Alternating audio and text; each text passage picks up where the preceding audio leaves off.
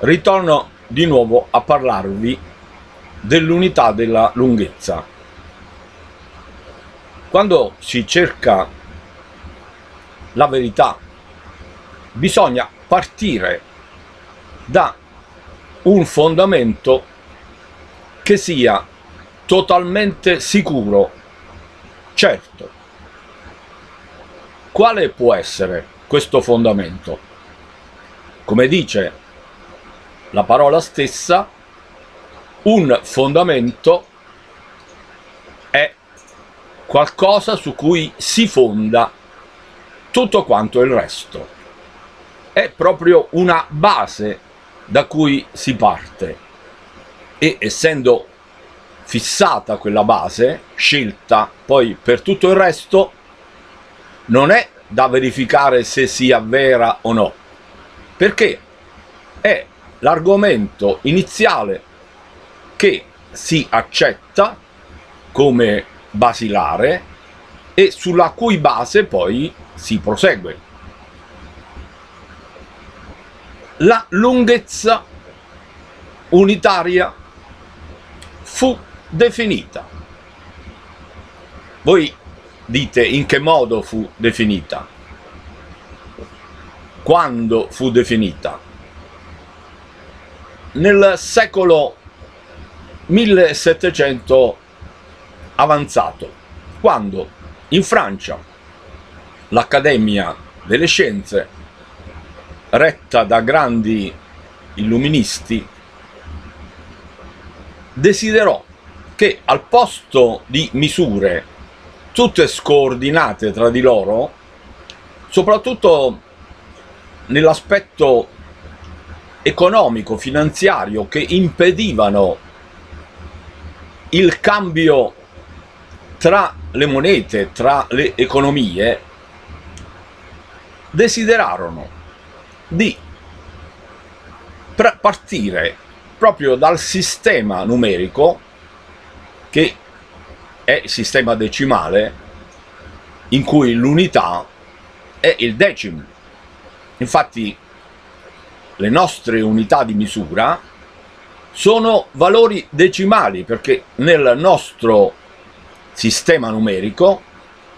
il valore veramente unitario posto a base di tutto non è l'unità, ma è il ciclo 10 dell'unità. Tanto che le unità interne al ciclo della decina si chiamano unità decimali. E quindi sul criterio aritmetico della unità decimale, su questo valore 10 che è di recente stato anche trattato in campo religioso dal Benigni quando ha parlato dei dieci comandamenti, ha fissato proprio il fondamento di ogni cosa. Un 10 di tipo lineare, tanto che l'unità sia una unità lineare, simile a un vettore avente un tracciato chiamato direzione, un verso lungo questo tracciato, e ce ne sono due uguali e contrari tra di loro, e un modulo, ossia un numero che consente di definire la lunghezza o, se preferite, la distanza tra i due estremi del vettore. Quando noi ne consideriamo presenti 10, stiamo descrivendo tutto l'intorno costruito con vettori lineari che valgono come modulo unitario in relazione a due osservatori, tanto che la cosa in sé da osservarsi abbia i sei versi esistenti nelle tre dimensioni perpendicolari tra di loro e chiamate assi cartesiani sistema tridimensionale che, visto secondo uno di questi assi, che noi possiamo chiamare l'asse Z, inserisce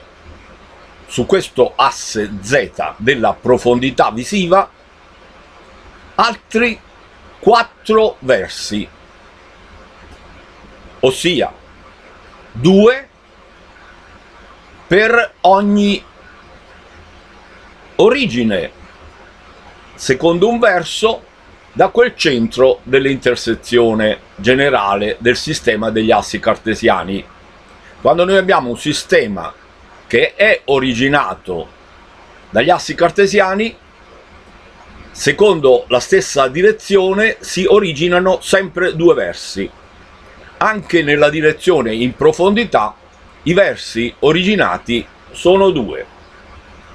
Sono due di quei sei versi dello spazio, ma quando questo spazio è oggetto di una percezione visiva da parte di un osservatore che sia collocato sull'asse z dello spazio, ecco che la distanza sua dall'origine, che è una distanza di tipo spaziale, è sottoposta a un fenomeno di azione e azione uguale contraria. L'azione in sostanza è quella che parte dall'osservatore e va verso il piano, verso l'origine collocata in quel piano e l'effetto uguale e contrario è che quel piano interamente avanza verso l'osservatore. Quindi il sistema a sei assi cartesiani, quando è sottoposto così alla osservazione di due osservatori, aggiunge al sistema a sei assi anche azione e reazione di un osservatore e azione e reazione dell'altro osservatore che si ritrova dall'altra parte del piano. I sei vettori del piano nel suo volume sommati ai quattro valori in azione e azione uguale contraria espressi da due osservatori formano la realtà osservata che vale quattro dimensioni perché si riferisce sempre ai due versi che sono osservati dai due osservatori uno in un verso e l'altro nell'altro quindi sono sempre quattro versi che costituiscono la realtà dell'osservazione dinamica e in più c'è l'oggetto da osservarsi che ha 6 vettori per conto suo. I vettori totali sono 10. Quando noi poniamo in atto i due verstori, i due osservatori, e noi postuliamo che essi osservino il tempo in dimensione 1, laddove la dimensione è un indice, noi abbiamo che questo indice 1 è l'indice 1 che si basa sui due osservatori, quindi è un 2 elevato a 1. Quando andiamo a postulare le tre dimensioni dello spazio poste in relazione ai due osservatori, abbiamo un 2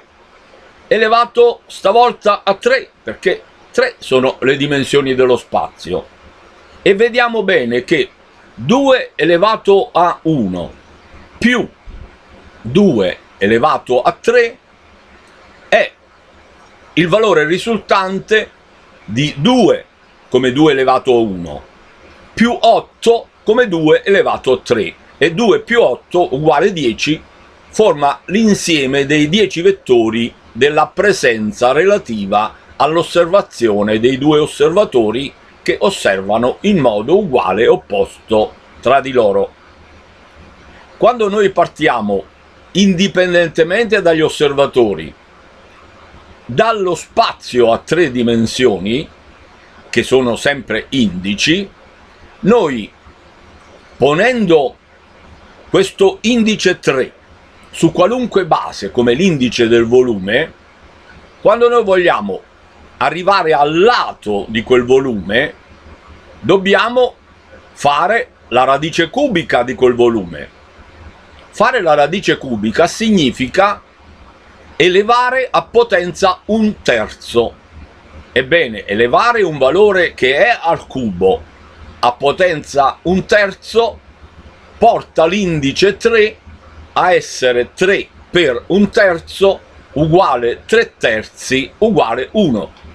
Di conseguenza abbiamo un primo modo di vedere le cose che si ammassa in 1 e questo 1 diventa il tratto lineare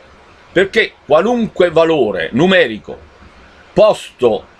con un indice che sia 1 esprime il valore della base come una linea perché ha la dimensione 1 lineare. Quando noi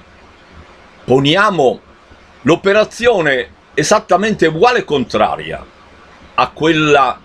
di elevare a un terzo, il che significa eseguire la radice cubica,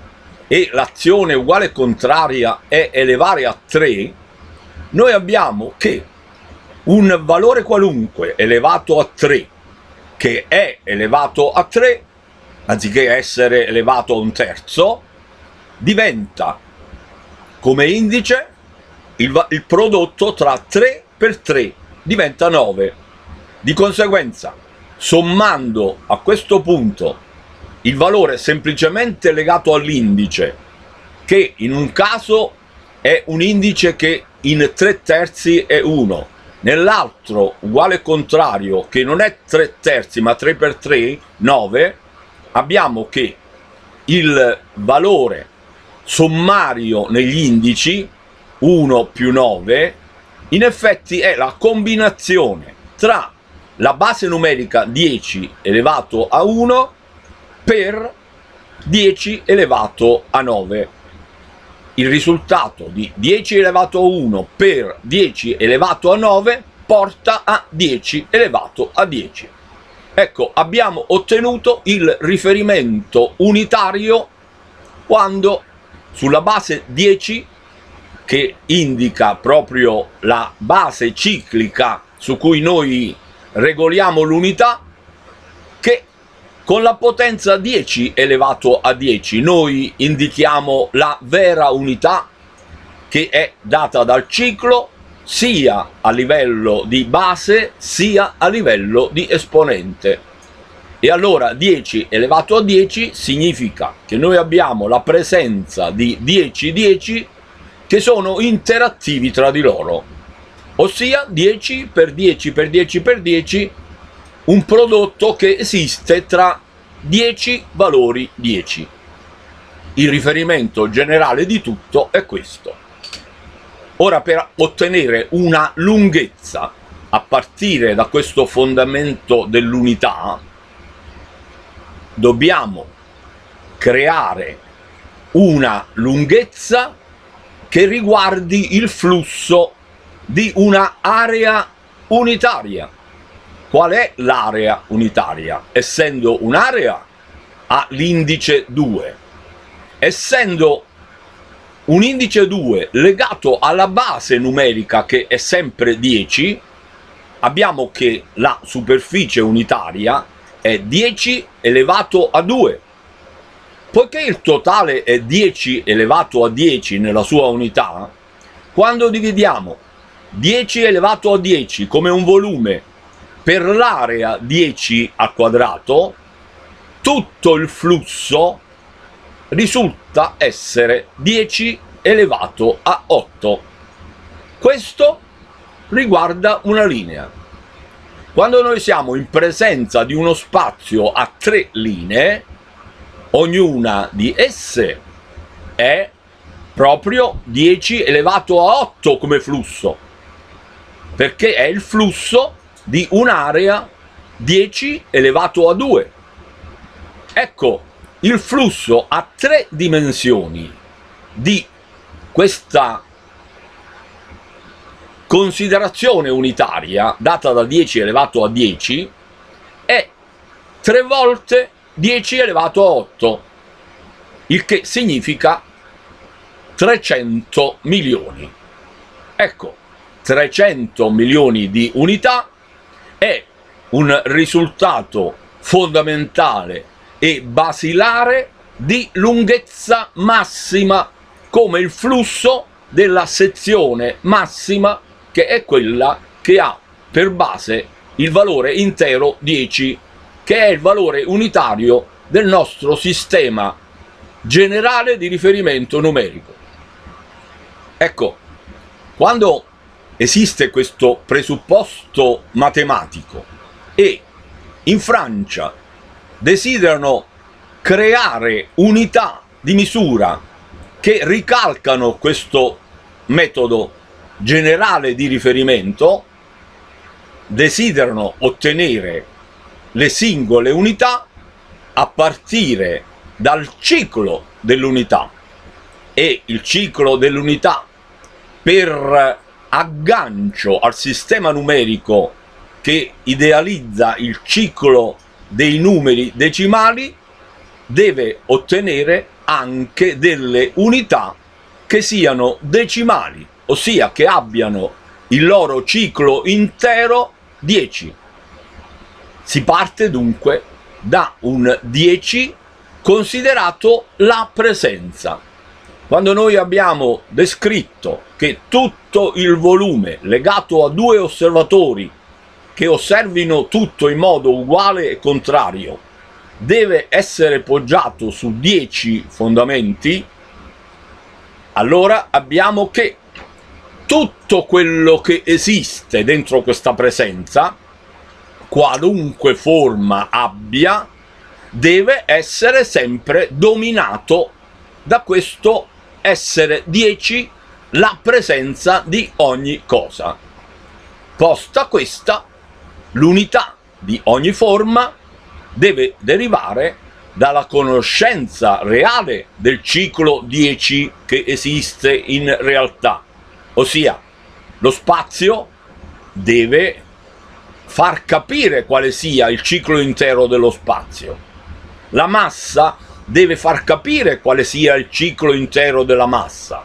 Il flusso della realtà deve rendere evidente quale sia il ciclo intero e resi evidenti i vari cicli e calcolati tutti essere 10, ecco che da quel 10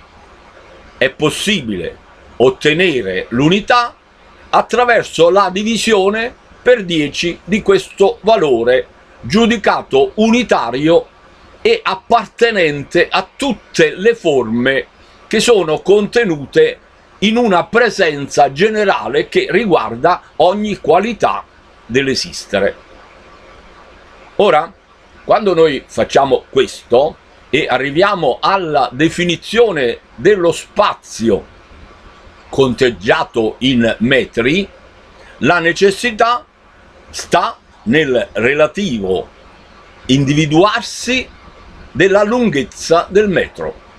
perché il metro deve essere coerente al ciclo 10. Bene, allora il primo ciclo 10 a cui deve essere compatibile il metro deve essere alla presenza come decimo del volume terrestre. Il volume terrestre presente in un giorno di rotazione della Terra deve essere legato a una presenza unitaria che sia decima, perché tutte le presenze che sembrano esistere in modo unitario devono tutte essere decime del loro ciclo. Quando allora esiste un giorno, anche questo 1 relativo al giorno deve entrare nel ciclo di 10 giorni capito che il valore unitario della presenza del volume terrestre è 1, ma all'interno del decimo, bisogna andare ad agganciare tutto questo anche alla unità del tempo. Collocata la dimensione del tempo una qualunque, la presenza della Terra, essa pure deve essere relativa al tempo di presenza 1 che a sua volta sia dentro un valore di 10 volte quell'1. E allora, vista che l'unità del tutto deve essere il ciclo, il secondo è definito come l'unità ciclica del secondo, tanto che un secondo sia poi all'interno di 10 secondi. E come tale ne risulta che il minuto primo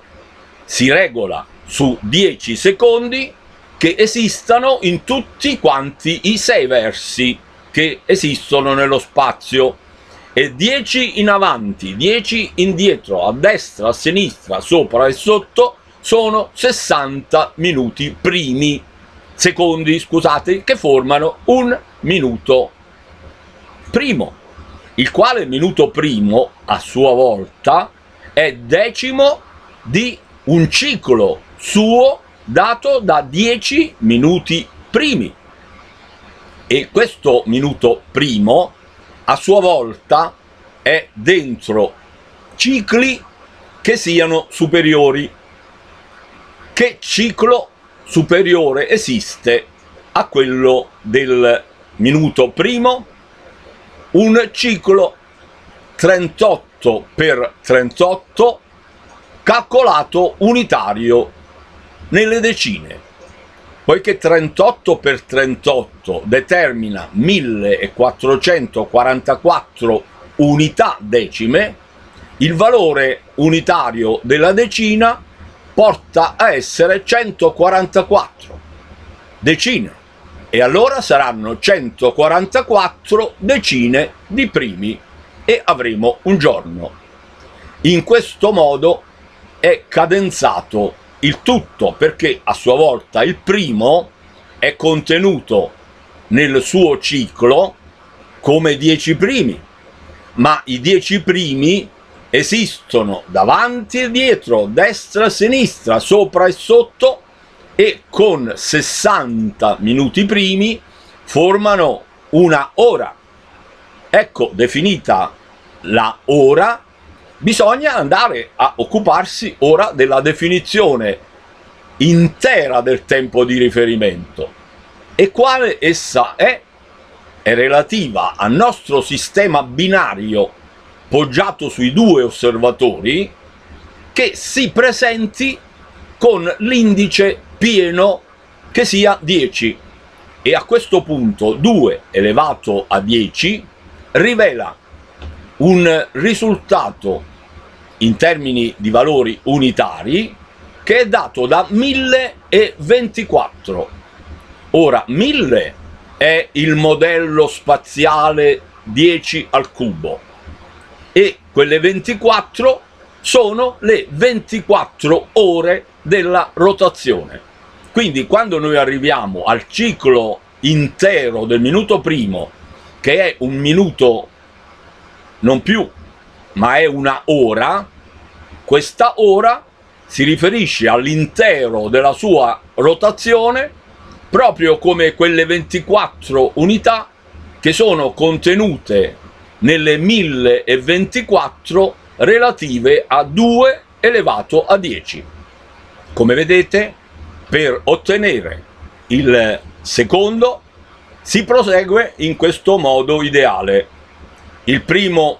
modo di concepire il tempo, visto che il tempo è osservato sulla base dei due osservatori perché è un evento dinamico, il tempo nella sua totalità è 2 elevato a 10 nella sua totalità, perché la totalità dell'indice è totale quando abbiamo 10. 2 elevato a 10 è 1024.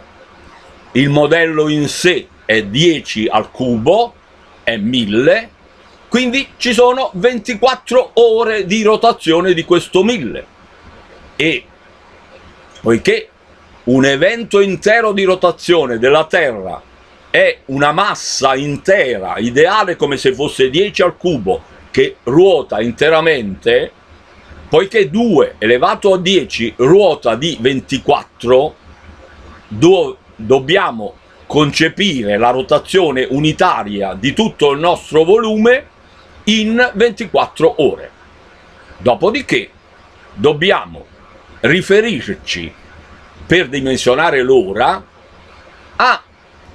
una realtà che sia costruita, come lo è, oggettiva, su sei parametri, che sono centripeti come ammassamento e centrifughi come espansione. L'unità data dalla interazione tra gli opposti, perché ogni interazione tra opposti dà luogo sempre a una unità, si realizza attraverso il prodotto dei sei ammassamenti per i sei uguali e contrari vettori in espansione e 6 per 6 sono 36. Questo 36 si deve riferire a un piano unitario che sia 10 elevato a 2 e in tal modo 36 volte 100 è 3600. La radice quadrata di 3600 porta in essere un 60 per 60 che dividono nel primo 60 l'ora in 60 minuti primi e poi la divisione successiva per 60 porta ai minuti secondi tanto che quando noi andiamo a considerare il ciclo di un minuto primo nei minuti secondi, essi sono 60. Quando andiamo a considerare il ciclo del minuto primo in minuti secondi, essi sono 10 volte 60, essi sono 600. Quindi un giorno terrestre è dato da 144 per 600 minuti secondi o se volete 144 per 10 minuti primi. Cosa, la cosa che non è stata ancora spiegata bene è perché 38 per 38. Perché quando noi andiamo a considerare che lo spazio in linea unitaria è espresso dal 10 e noi calcoliamo la presenza di tre assi come i tre lati di un cubo e quindi calcoliamo 10 più 30 con 40 noi abbiamo espresso le quattro dimensioni della realtà spazio-temporale in relazione al ciclo 10 e da 4 diventa 40.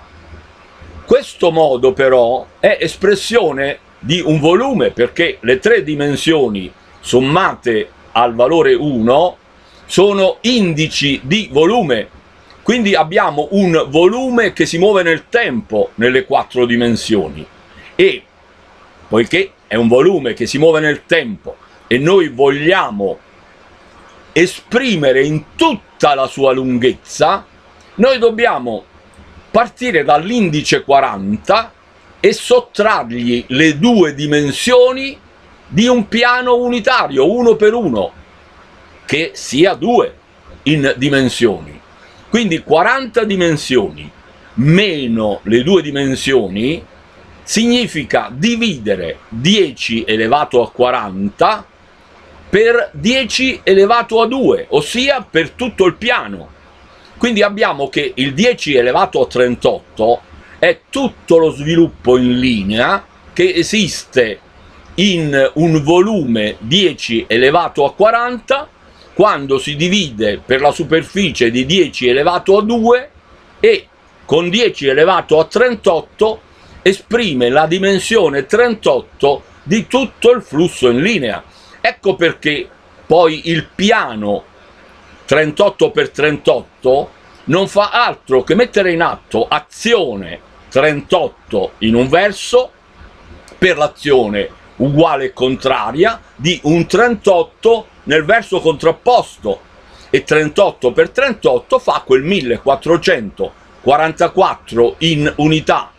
e 144 in decine, in cui il valore unitario dato dalle decine è quel 144 che poi abbiamo visto è un giorno se si moltiplica per 10 minuti primi ed è ancora un giorno se si moltiplica per il contenuto di 10 minuti primi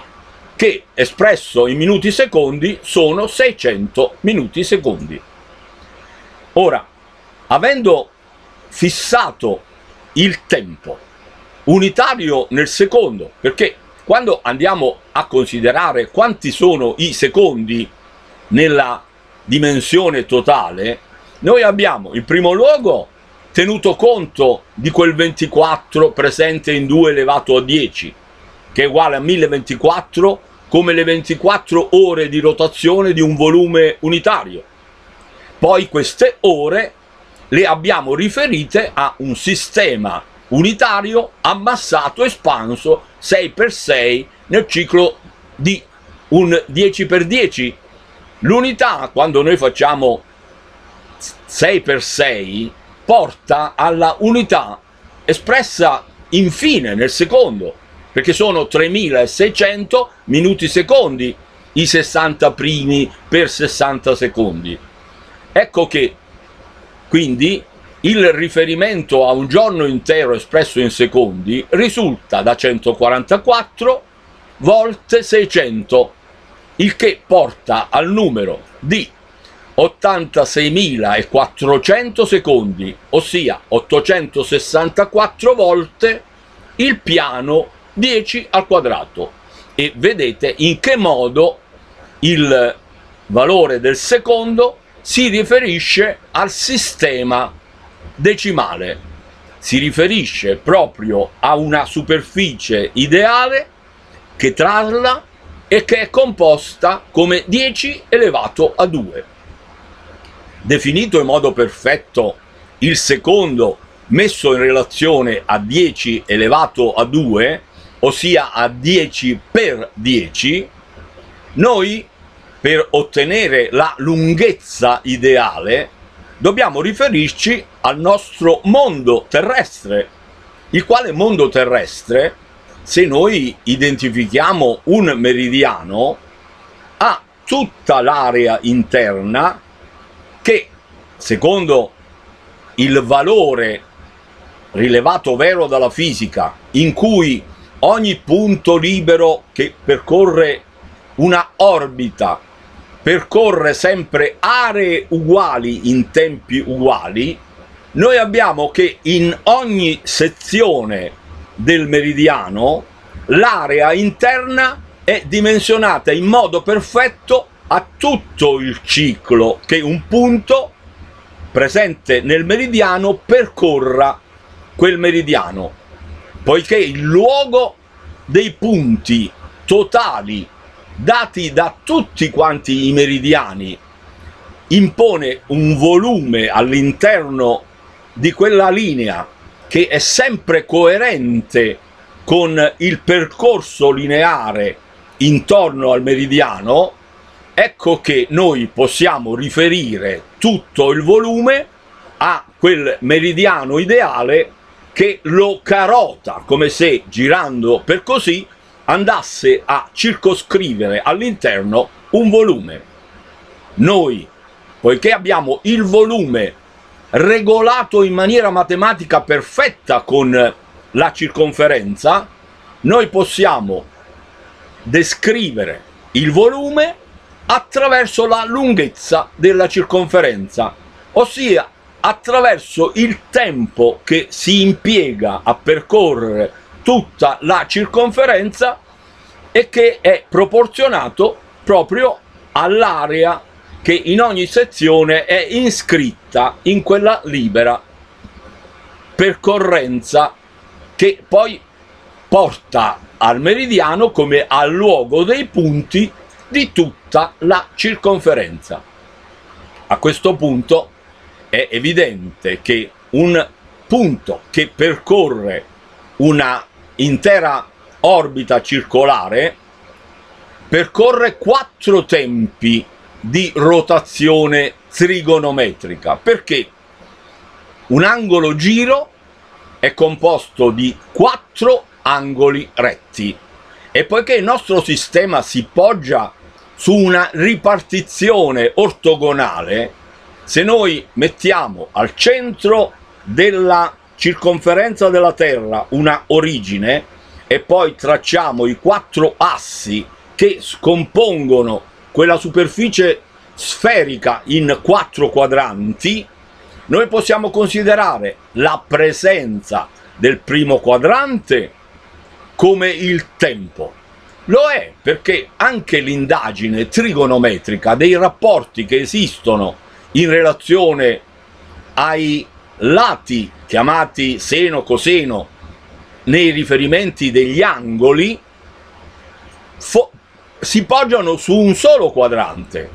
perché gli altri tre sono uguali nelle relazioni che esistono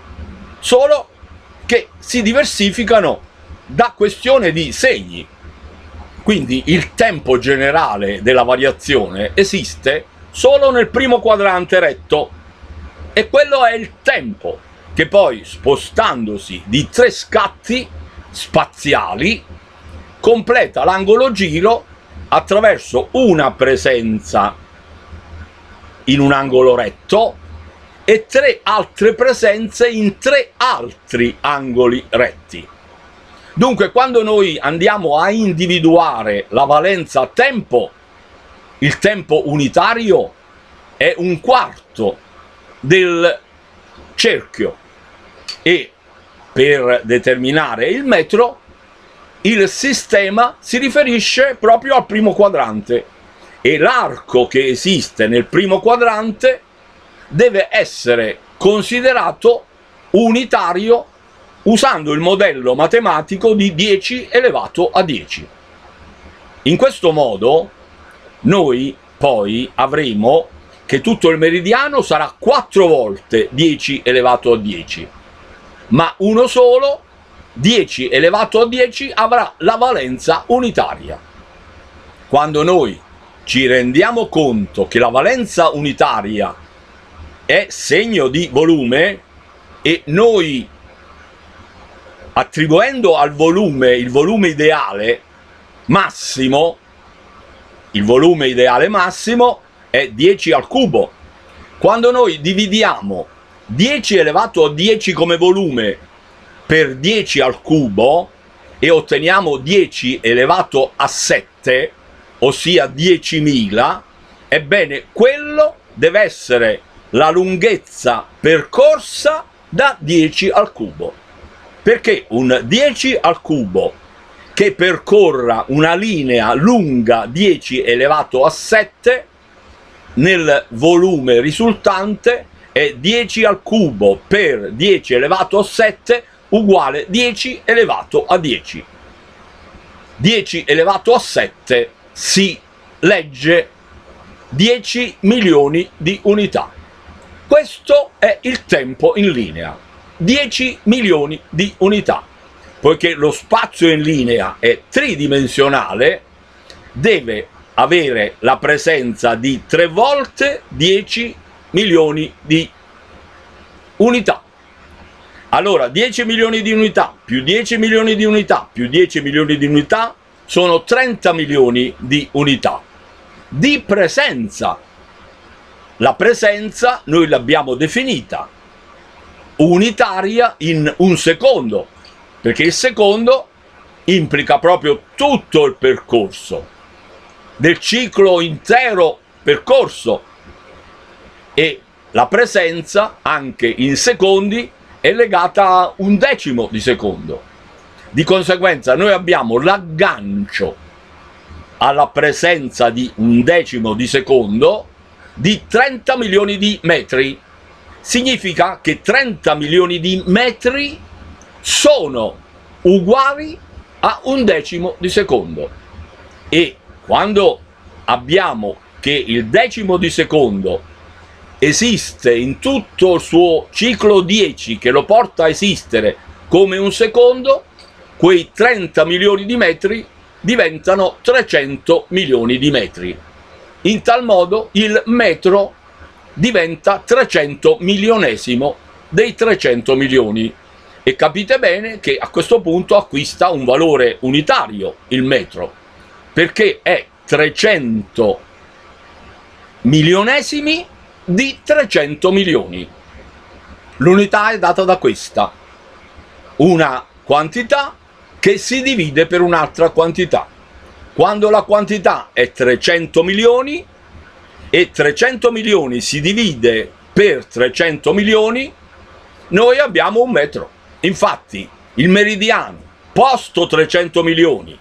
diviso per 300 milioni di volte porta a un metro e quindi abbiamo che un metro è unitario perché è veramente dato da 300 milioni di 300 milionesimi. E il prodotto 300 milioni per metro è 1 perché poiché m metro è un 300 milionesimo per conto suo è un 300 milionesimo di 300 milioni il prodotto di 300 milioni per un 300 milionesimo alias metro porta al valore 1 di una presenza totale in linea di spazio. È spazio di tutto, è spazio di spazio, è spazio di tempo, è un riferimento generale perché la presenza della Terra è messa in relazione non solo allo spazio, ma allo spazio che gira nel tempo. Di conseguenza, mentre è indice di lunghezza, è indice di lunghezza sia spaziale sia temporale. Perché se è 300 milioni, lo è perché unitariamente è 300 milioni riferito a 100 milioni e si esprime sempre nel valore consuntivo di 3 a 1, ossia del rapporto tra le tre dimensioni del volume e la dimensione 1 del moto lineare. E vedete a questo punto che da tutto l'insieme che noi abbiamo fondato come un sistema generale di riferimento, la realtà scientifica ha fondato come base questo risultato, mettendolo proprio in essere come risultato nel preciso momento in cui lo ha fondato. Ha fondato il suo stesso risultato perché è arrivato a riconoscere che 300 milioni di metri sono uno come lunghezza spaziale, che è lunghezza sia di spazio sia di tempo quando la lunghezza dello spazio è tre volte l'unità del tempo. Questo sistema di riferimento è importantissimo perché quando noi andiamo a osservarlo nella sua verità e capiamo che il rapporto 3 a 1 è un rapporto unitario perché ogni asse esiste come uno di una terna e quindi come un terzo e solo tre volte un terzo porta tre terzi, quando abbiamo capito questo, abbiamo capito anche il perché del valore fondamentale da darsi all'unità e trinità. Quando al posto dell'unità e trinità dello spazio-tempo noi andiamo a mettere qualcosa ancora di più fondamentale, di ancora più basilare nella sua costruzione quella realtà divina che è poi quel criterio generale su cui poi si poggiano tutte le cose, perfino i numeri. E quindi andiamo a imporre alla base del sistema a un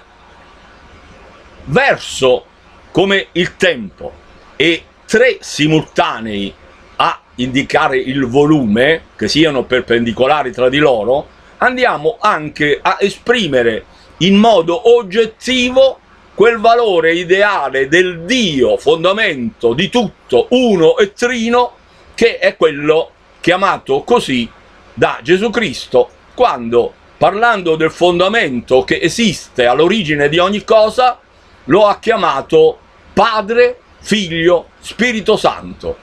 come tre infiniti assi, aventi ciascuno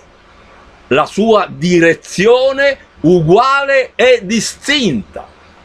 Perché bisogna distinguere esattamente padre rispetto a figlio e rispetto a Spirito Santo. Padre, figlio e Spirito Santo tra di loro hanno un solo punto in comune, la loro intersezione. Hanno in comune solo la loro origine, proprio come quella origine del sistema di assi cartesiani in cui quando esiste solo la pura origine esiste un punto geometrico senza alcuna dimensione reale. È la presenza fondamentale di un qualcosa che non ha dimensione reale ma esiste come pura origine. È proprio l'origine divina fondamentale su cui poi si poggia la creazione reale quando da quel punto entrano in atto tre differenziazioni come Padre, Figlio e Spirito Santo che creano il tutto attraverso tre linee di azione uguale e distinte, ciascuna delle quali è infinita. E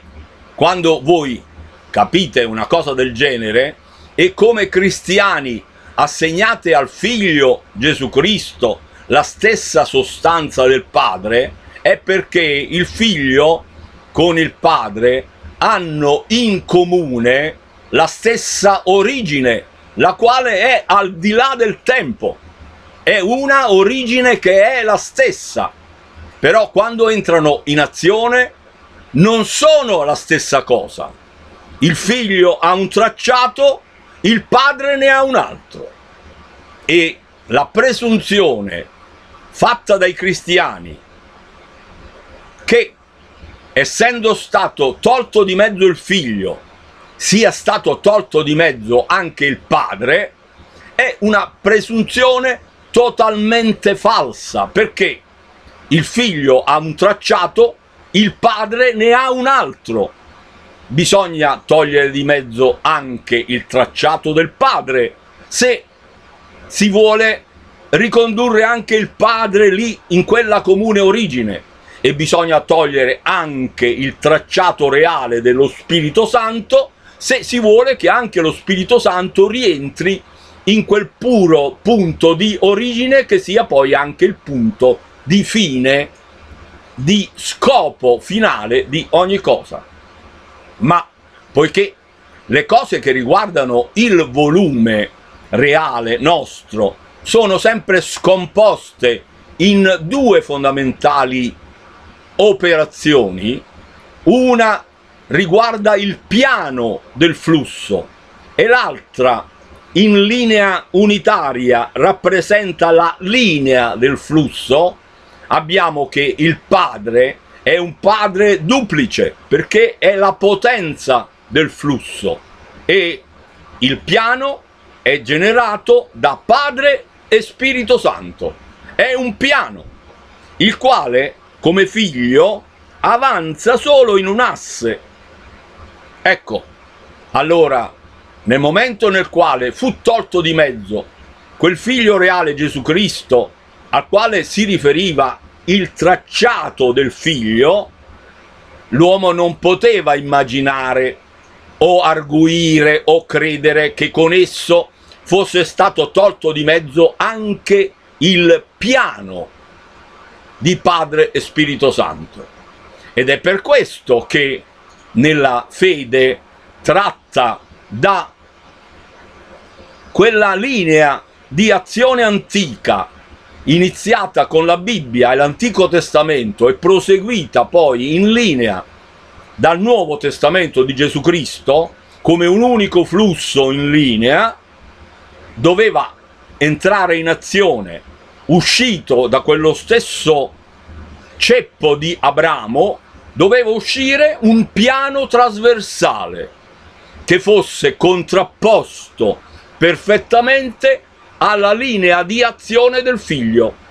Questo piano di totale contrapposizione è stato fornito dall'Islam che si è contrapposto come un intero piano non solo alla linea del figlio Gesù Cristo, ma alla linea dell'Antico Testamento e del Nuovo Testamento, che è una linea in continuo in cui il Nuovo Testamento ha accettato la sua origine dell'Antico Testamento, non rigettandone proprio nulla. Ma ecco che la condizione trasversale, contrapposta a questa linea comune di azione religiosa espressa da ebraismo e cristianesimo,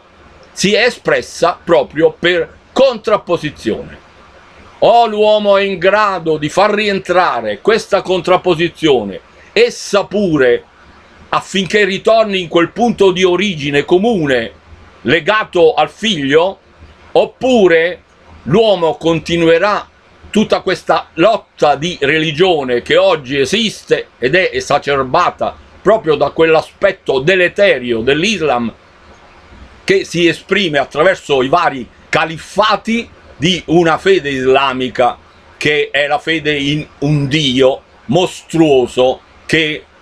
porta in paradiso i propri adepti se essi fanno opera di uccisione, proprio di contrapposizione addirittura vitale nei confronti di chi abbia le altre due religioni dell'ebraismo e del cristianesimo che sono la linea trasversale a quella. Se questo mondo non è in grado, aiutato proprio anche dalla verità di una logica che io vi sto descrivendo in modo spazio-temporale, se non è aiutato a capire che annullata la linea ebraico-cristiana ricondotta in un punto, bisogna che accada lo stesso al piano dell'Islam e che si ritorni a quel punto in comune che esiste e che era in comune quando esisteva il solo padre Abramo, che è l'origine di ogni cosa, fino a che il tutto partito da Abramo e che si è scomposto in questo modo scomposto che vedete, non si è ricomposto nuovamente in un punto unico di arrivo, fin quando ciò non accade e non si sintetizzano le tre fedi, stavolta espressi come assi della fede, l'ebraismo, il cristianesimo e l'islamico, fin quando non si fa questa opera generale di reductio ad unum, di riportare il tutto in uno, non si arriva a avere nel nostro mondo reale quella reale opera di una fondamentale giustizia, ma si mantengono in essere e in vita tutte le contrapposizioni che non hanno alcun valore, perché se esistono in natura le tre contrapposizioni dei tre lati è perché devono collaborare tra di loro per la generazione di un volume unico. Quindi il volume di Dio deve avere tre lati, uno considerato nell'Islam, l'altro nel cristianesimo, l'altro nell'ebraismo, a generare l'unità di un Dio che sia un Dio che sia ricondotto all'unità di Abramo. Solo in queste condizioni avremo veramente la giustizia in questo nostro mondo reale. La giustizia nei confronti di una fede che cessi di essere sorgente di disaccordo e diventi proprio quella interazione simile a un prodotto che moltiplichi il potere dell'ebraismo al potere del cristianesimo e al potere dell'Islam. Immaginate che quanto bene può venire fuori all'umanità quando queste tre fedi si moltiplicano tra di loro, anziché cercare di avvalersi soltanto della loro unità. L'unità di ciascuna è una linea, ma per ottenere un volume unitario bisogna far interagire le tre linee e allora solo avremo che una per l'altra per l'altra genererà nella vita del mondo divino, ossia quella che le va a giudicare a livello fondamentale, quello che accade in un volume reale, che da una linea che di per sé è un solo flusso, quando ne abbiamo tre, che sono uguali e contrarie tra di loro, perché perpendicolari, l'amore che possa legare ciò che è contrapposto confluisce un intero volume di amore che è il massimo perché è proprio fondato sulle massime contrapposizioni che esistono e che sono state generate all'interno della stessa unità.